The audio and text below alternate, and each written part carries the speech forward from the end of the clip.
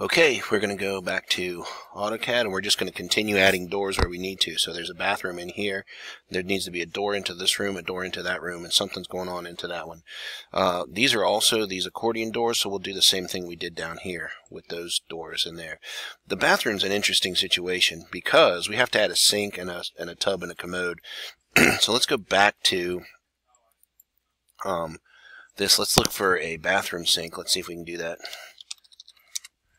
bathroom sinks. Um, all right, so um, we might look at something like that. So it's going to have a cabinet or something underneath of it. Uh, you can do a bathroom sink just like that. Generally, they're going to be around. Uh, this one looks like it goes into uh, thing there. So it's going to be the same as uh, as a cabinet um, that you would find in your kitchen, about 24 inches out from the wall. Then we just have to make sure something like that fits in there. If we pick something that was, say, an oval shape um, to put into a cabinet space. Uh, let's find something that looks somewhat decent. We could do something like that too if we wanted to.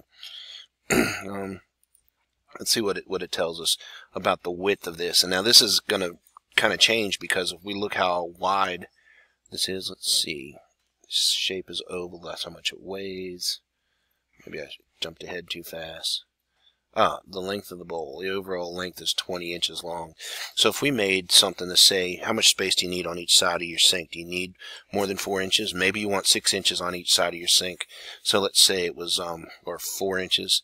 Uh, 4 inches would make it 28 inches wide. Uh, 5 inches would make it 30. Let's go 32. That would make it 6 inches on each side. That way you can put down hair, uh, er, curling irons and blow dryers and toothbrushes and those kinds of things. So we'll go... Um, another 6 inches on each side of this, so the overall length will be 32 wide and 24 out from the wall, and then we'll put an oval in it. Alright, so let's make a sink, uh, or a cabinet that would be 32 this way, 32 inches that way. We'll go this way, 24 inches. Uh, we'll go 32 inches this way. We might have to make some adjustments later and close. Um, and in this case, we're just going to go ahead and move this whole thing, do a window around that, from that corner right there up here to this corner right here. So now we've got that in place. All right, at that plate point, we can go in here. Let's see. We don't want to use that one. Oh, no, here's where we're looking. We're looking to make, um, we got these options here of doing a, an ellipse. So let's pick the center. And we'll say the center of this is, we're going to eyeball it and put it in here somewhere. Go up to about right there. And so we'll make an oval. Oh, about like that and that's pretty good. And these sinks tend to have uh, drains in the center that are only about two inch diameters. So let's say two inches. Um, so that's it. So that's where our sink is. So that leaves a space over here for a bathroom door to open inward. Right? But before we put the door in, let's go ahead and figure out, uh, wait, let's go here, see how this layout. So there's a commode right there between the sink and, and the tub. So let's go to um, back to the internet. We'll go to Lowe's and we're going to put in bathroom tubs. And let's see what comes up. Alright, so did that.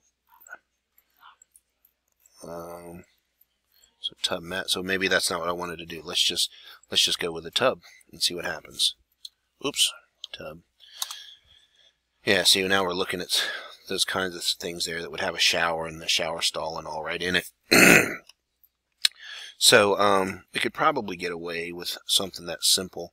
Uh, we would do a combination of something like this and that together, or this and that one together. So let's look at this option here. Let's come down to the specifications and we're going to look for the actual height's 14 inches. That's the tub, so the length is 60 inches, which is 5 feet standard, and the width of this one is 30 inches. If you want to buy, find, find a tub that's a little bigger or something like that, you could, but we'll go 60 by 30. so if we go back over here, we will just offset, that should be 60 inches, we'll offset this 30 inches, and go this way. Alright, so we can type LI and hit enter and then click this and it'll list what this is. We're going to list that object, right click and enter and it tells us that it's 5 foot, which is equal to 30, uh, 60 inches. So now we can go in here and usually you got about a 2 inch lip on each side, maybe a little bit more on this side over here that's open uh, to the tub. Let's look at it. Oops, not, not Windows, no, not Word. I'll go back to the internet here. And you see how the tub has, oh, it's a thicker on this side than it is over here. That's so you can put your foot on it or sit on it if you need to. The side's the side that goes against the wall. But we don't need to, we don't even need to do that. But look at the radius right here is a wider radius than it is down here. Um, especially, oh no, this is a wider radius here than it is back here. So this is a flat spot where if you were sitting in the tub, it would be comfortable for your back. So we're going to make it so it has this shape, not so much this shape. Um, even though those radius, the radii are about the same, uh, we'll do it this way so we can put where the drain goes. That's generally what you're going to do. So let's go in here and we will offset. Let's offset about two inches all the way around this thing. So we'll offset this one that goes this way, this one goes this way, this one goes this way, and this one goes this way. Now to make it simple, we'll just click on fillet again. We're going to set our radius back to zero just so, so oops, not zero, just so we can get sharp corners on this so we can actually get a good fillet on it in a minute. You could, if you wanted to, go ahead and put the right fillet in uh, to make it easier, but we want to get that, uh, I want to get that so they're in here so that I know what the shape of that is. um, because uh, also know that when they build things, so like the drains here, the drain for your commode is going to be right here, the drain for this, so underneath is all these are lined up, and it's going to make things really, really cheap to, as far as plumbing goes. So I might look at this and say um, stretch this part right here. I'm actually going to stretch it back this way a little bit more. I might go as far as, oh, that three inches actually looked good, so we'll do three inches there. All right. now, because we want the flat spot on the back here, we're going to make a small radius on the back. So let's say we'll do fillet radius again, and this time we'll do a 6 inch radius here.